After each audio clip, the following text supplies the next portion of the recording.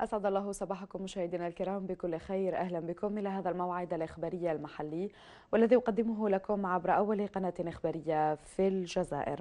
البداية ستكون بالقطاع الفلاحي ومع اقتراب انطلاق موسم الحصاد بولاية تيارت عبر الفلاحون عن استيائهم بعد تعرض مئات الهكتارات من هذه المحاصيل في الفترة الأخيرة إلى الصقيع أو ما يعرف تسميته في العديد من المناطق بالليلة ديار بن داود.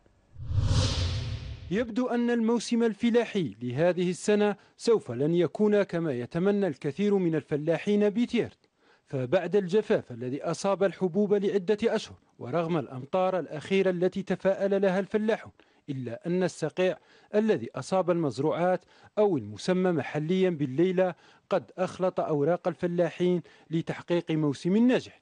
هذه الليلة هي آه، عبارة عن آه، جليد قوي ليلة قوية تاع جليد. بكري كيف كانوا يتفادوها؟ يتفادوها بسبب الزريعة. كانوا يديروا دي سومونس المومون دو لا فلوريزون ايفيتو هذه الليلة. يعني سي بيولوجيك وسنا هذه الزريعة؟ يعني راهي تقريبا في السوق مكاش فالليلة تصيب السنابل مع بداية نموها وتأثيرها الشديد البرودة يؤدي إلى تلفها تلقائيا.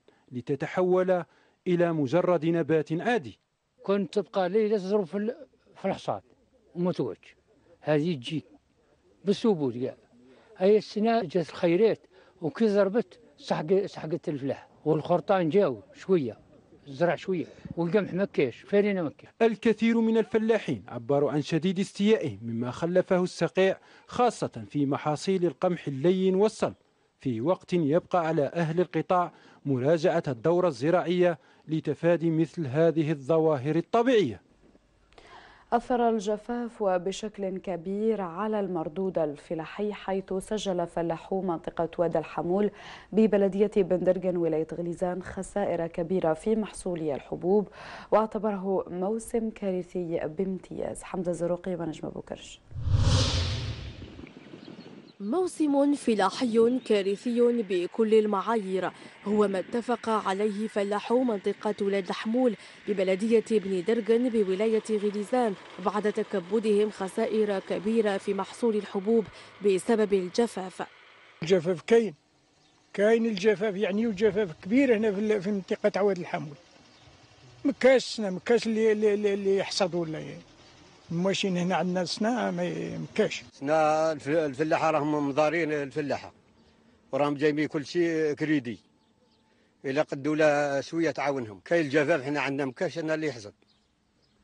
جفاف كاع كاين الخفرة قلبوا تكتم الوزارة الوصية عن إعلان الجفاف هذا الموسم. أثر بشكل كبير على الفلاحين وجعلهم يتكبدون خسائر بالجملة. الأمر الذي يتطلب التدخل الفوري لإنقاذ الموسم الفلاحي. راه كل شيء جفاف. اللي يقلب قلب واللي راه كرا القباله كرا واللي راه يلقط حتى البوطة راه يدير 20 عارفهم بغاش يدوه. يا ودي فايت الجفاف. ماشي كاين الجفاف كاين سق الجفاف كاع. تراجع المردود وعدم القدرة على تغطية الأسواق المحلية. يعود أساسا إلى عدم دعم الفلاح بمياه السقي ليبقى نجاح هذا القطاع مرهون بمدى قدرة القائمين على قطاع الفلاحة في إزالة كل العراقيل.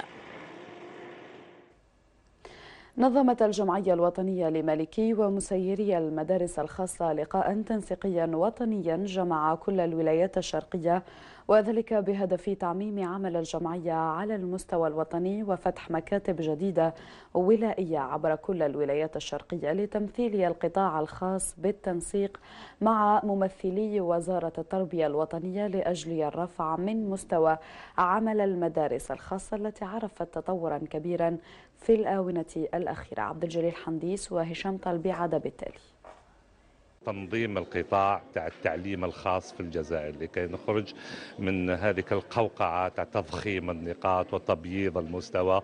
هناك أشياء جميلة جدا يقومون بها هذه المدارس على المستوى الوطني وهذه الأشياء هذه حيبين نبينوها للعام والخاص. اللقاء نتاع اليوم هو فرصة لجمع المدارس الخاصة عبر الشرق الوطني وذلك للتعاون ولطرح الأفكار ولتوجيه لتوحيد الرؤية. نتفقوا على بعض الأشياء باش تكون عندها l'école privée algérienne تكون عندها مرتبه مرتبة باسكو إلى حد الآن راهي شوية اليكار ماذا بينا نتعاونوا كامل لي زيكول كيفية كيفية إيصال المعلومات للتلميذ في جميع في جميع في جميع الأطوار فيما يخص الإبتدائي المتوسط والثانوي. نتمنى أن نواصلوا في هذه المجهودات ونتمنى نوصلوا بالمدرسة الخاصة إن شاء الله آه، إلى إلى مبتغيات الجمعية إن شاء الله. كانت بلدية غليزان على موعد مع تسليم الدفعة الأولى من السكنية الترقوية المدعمة المقدر ب 130 سكن وهو يعتبر طريقة بناء هذه السكنات الأولى من نوعها حيث يتكون من تسعة طوابق إضافة إلى مصاعد كهربائية حيث عمت الفرحة فرحة المستفيدين بعد أزيد من ست سنوات من الانتظار أن توزع 260 سكن بداية شهر سبتمبر المقبل في نفس الصيغة السكنية. حمزة زروقي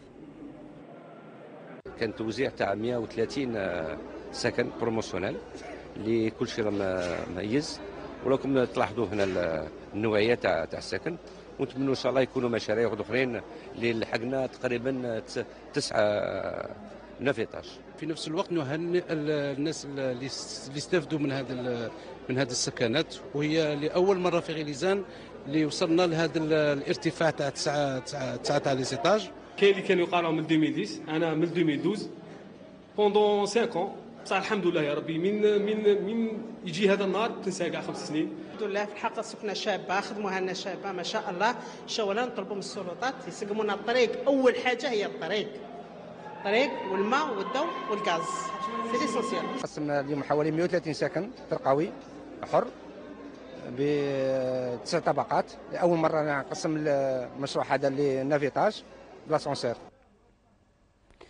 أشرف اللواء شريف عبد الرزاق قائد الناحية العسكرية الرابعة على حفل تخرج عشر دفعات بالمدرسة التطبيقية للقوات الخاصة ببسكرة وهذا في اختصاصات مختلفة.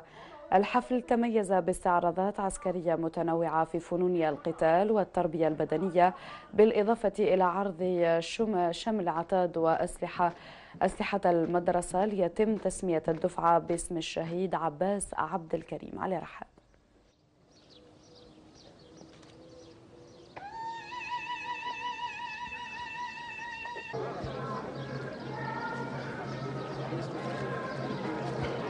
فيا خريج المدرسة التطبيقية للقوات الخاصة. فأنتم الذين ستمنحون بعد تخطيكم لعتبة الواقع العملي والميداني الدرجة التقييمية الحقيقية بهذه المؤسسة التكوينية. إننا نأمل أن تكون النتائج التي تحققونها في الميدان العملي بكل جوانبه ومتطلباته حافزا مهما لهذه المدرسة لكي تبلغ مستويات أفضل وتساهم في تحقيق الأهداف المرجوة من المنظومة التكوينية العسكرية. بإشراف إطارات مؤهلة بوسائل وتقنيات حديثة من أجل أو لأجل معرفة مدى جاهزية عناصر الحماية المدنية من مواجهة أي طوارئ طبيعية عمدت الحماية المدنية لولاية جيجل إجراء تدريبات لزلزال افتراضي حيث سخرت من خلاله المديرية الولائية للحماية المدنية بجيجل ما لا يقل عن 100 موظف من أعوان وإطارات في شكل فرق للإنقاذ والإسعاف الطبي. أيمن عبد الرحيم. الهدف منه هنا هو تكوين الأفراد على استعمال مختلف طرق الإنقاذ. وحنا كما رانا هنا هنا في طريقة الانقاذ المختلفه اللي استعملنا هذه تقنية لي دو زيشيل باراليل السلالم المتوازية. وقد تم تجنيد 100 عون بمختلف الرتب خلال هذه العملية. الهدف الأساسي من هذا التجمع هو الحرص على استمرارية جاهزية التعداد والعتاد تحسبا لأي طارئ.